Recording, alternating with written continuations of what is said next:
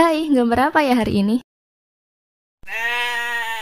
Hai, oke, pertama-tama kita harus tahu dulu apa itu perfeksionis. Perfeksionis adalah orang yang pengen segalanya itu sempurna. Mereka itu tipe orang yang kalau jarang kelambi itu sempaknya harus dipisah jauh dari koloni yang lain. Atau golongan orang yang makan bubur nggak diaduk dan nggak pernah nata uang secara jungkir balik dengan para pahlawan yang freestyle seperti ini. Semuanya itu harus rapi. Nah, apakah aku itu termasuk perfeksionis? Oh, tentu saja tidak. Karena aku hanyalah manusia gua careless alias ceroboh, sakar PDW dan gampang sekali memaklumi sesuatu. Di video kali ini aku mau cerita tentang pengalaman pertamaku seorang careless person melayani customer yang perfeksionis. Pasti kalian para kuli komis juga pernah ketemu sama customer seperti ini kan? Kemudian dicekoi jutaan revisi dalam satu hari. Jadi, pagi-pagi masih sekitar jam 7 di mana aku masih molak-malik nggak jelas di kasurku bercosplay menjadi ulat bulu dan bahkan ayamku yang nggak perfeksionis itu juga belum kuruk-kuruk. Mika nge-DM aku, brand Udah kelihatan banget kan kalau dia itu perfeksionis.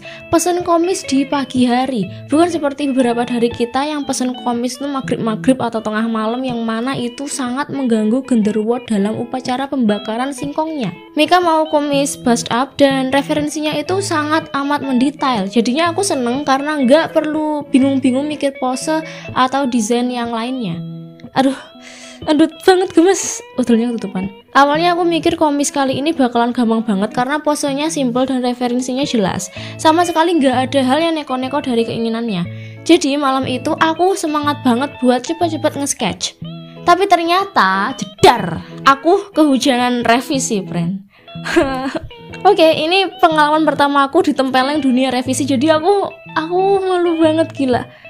Lihat ini, banyak banget bagian dari sketsa aku yang nggak sesuai sama keinginan dia. Kenapa ya aku saat itu begitu ngawut gitu loh? Riana ngawutan. Maafin aku ya Mika karena telah bikin kamu repot-repot nunjukin mana aja yang salah dari sketsa bonyok ini. Oke, okay, uh, eh, mana aja nih yang perlu direvisi? Hmm, telinganya jangan dibikin olep, mulutnya dibuka dikit, beranya disobek dikit, sama lengan jaketnya digulung. Oh, ada lagi, uh, matanya agak sayu. Makasih. Hah? Ada lagi? Tambahin bulu mata satu helai. Terima kasih sudah melayani keperfeksionisanku. Tidak apa-apa, Wahai Mika. Sudah sewajarnya kami memberikan pelayanan 100% kepada Anda. Titahmu adalah cuanku. Apakah revisinya udah selesai? Ancrit, masih ada lagi. Crop topnya segini aja. Oh, jadi itu jadi itu tadi crop top toh kukira apa yang terjadi denganku Oke, setelah kehujanan jutaan revisi, aku nggak mau mempermalukan diriku lagi, brand. Kualitas gambarku menunjukkan kualitas harga diriku. Jadi aku harus memperbaiki sketsa aku tadi um, sebagus mungkin, sesuai mungkin dengan kemauan beliaunya Mika. Tatak air, tatak air. Kayaknya udah deh. Telinganya udah nungul, mata udah sayu, ada tambahan bulu mata, lambi kebuka dikit, udah jadi crop top. Ini terus ini um, kayaknya udah. Mari coba kita perlihatkan pada beliaunya Mika. Silakan kalau mau revisi lagi. Sedang berharap agar tidak ada revisi lanjutan. Anjrit, ya juga sih ya. Tangannya bagusan gini sih. Tapi kenapa aku gambarnya lurus aku kayak jenglot ya tadi? mencoba membela diri. Oke, ayo kita benerin tangannya ya, friend. Celing, udah kenyot. Ada lagi, friend. Alisnya agak dilusin ya, friend. Allah Akbar. Katanya dia agak bingung juga sih mau kasih ekspresi yang kayak gimana. Pengennya nunjukin sisi tegas, keren, baik hati, tapi nggak polos. Nggak polos.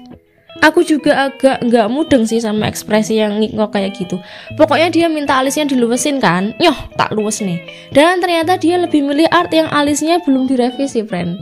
Mungkin karena kelihatan lebih tegas dan ye, akhirnya revisinya udah selesai.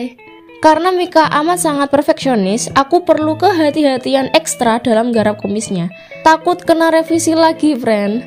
Liontinnya harus kenyot.